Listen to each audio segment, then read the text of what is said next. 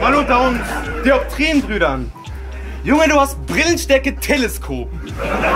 Ey, steht man so vor ihm und schaut dann zu seinen Gläsern hoch, dann macht sein Schädel so.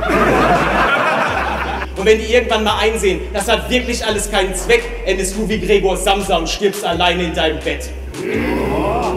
Und ja, das Leben hat auf deinen Weg eine Menge Steine gelegt. Aber damit es nicht so endet, hast du nach der letzten Stunde mit mir noch ein pädagogisches Einzelgespräch.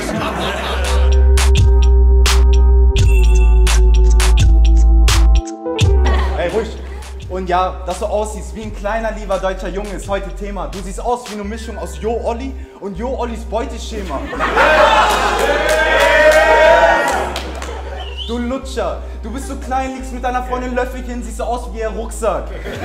Siehst mit dem Gesicht und der Größe aus, als wärst du 16, Digga. Du bist so klein, du musst beim Doggy auf dem Bett stehen. Es ist Teach gegen Leanders. Mach mal lieber Halbplan. Wisst ihr, wie ich das Battle hier nennen würde? Krieg der Allmanns. Ja, dass wir beide Deutsch sind, sagt ja heute unsere Gangart. Doch ich bin sowas von Deutsch, Alter, ich deutsch dich auseinander. Du willst einen Pool und einen schönen Tag genießen. Ich bin schon längst da und hab meine Handtücher auf allen möglichen Bade liegen. Du willst nach Malle fliegen und tagelang rocken. Ich bin schon da, Hacken stramm und trag Sandalen mit Socken.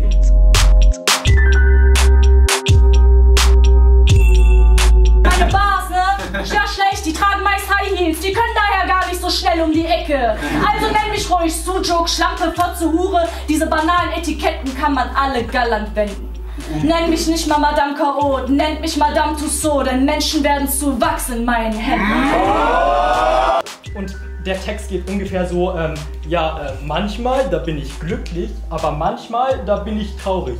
Junge, als ob.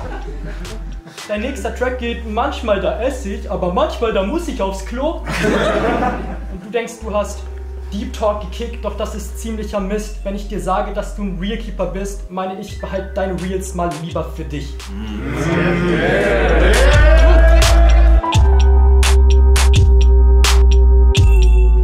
Ja, ja, ich bin jung und habe die Entstehung von Battle Rap nicht miterlebt. Du warst in der letzten Generation der Außenseiter, ich werde in der nächsten der Mitte stehen. Ich gehe meinen Weg, du hattest nie einen. Also glaub nicht, du hältst mich auf, Mann. Du bist nicht der Torwächter wie Mars B, sondern der alte Mann, der nicht weiß, worum es geht, aber der Jugend zeigen will, dass er es auch kann. Ich hab den groß gemacht, den habe ich groß gemacht. Native hat mich groß gemacht. Du tust, als wärst du unser Vater, unser Meister und gehörst zu den weisen Alten. Doch du hast niemanden groß gemacht, du hast dich selbst nur mal klein gehalten. Eckert hier galt laut eigener Aussage früher als Wunderkind. Aber da frage ich mich halt schon, wo ist denn mittlerweile dieses Wunder hin? Ich meine, du sagst selbst, du bist hochbegabt mit dem IQ von über 130. Okay, cool. Was kann man damit so machen? Ich meine, rappen ja scheinbar nicht. Aber dir ist das ja so wichtig, dass dir ist das ja so wichtig, dass jeder weiß, wie schlau du bist, weshalb du das auch immer zu allen Menschen sagst. Aber Eckert, nur weil du fünf IQ-Tests gemacht hast, heißt das nicht, dass du die Ergebnisse einfach zusammenrechnen darfst.